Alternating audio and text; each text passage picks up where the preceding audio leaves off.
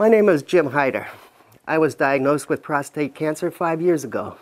I had surgery, and here I am today. End of story. This is how many men describe their bout with prostate cancer. Most of us don't want to talk about it much. Why? I guess we don't like the vulnerability. Just the word cancer is scary enough, and I'm a guy.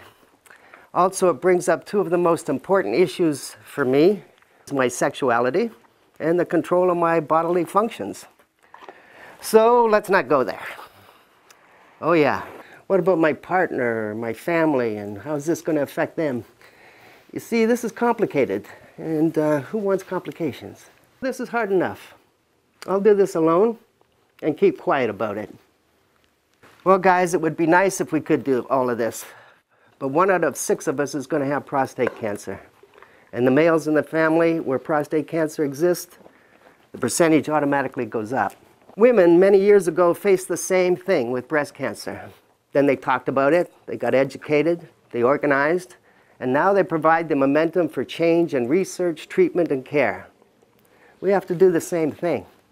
Like the women did, we need to tell our stories, face our vulnerabilities and our taboos, involve our loved ones, learn from each other, and most of all, get a discussion going. This video, it's a family affair, is designed to do just that.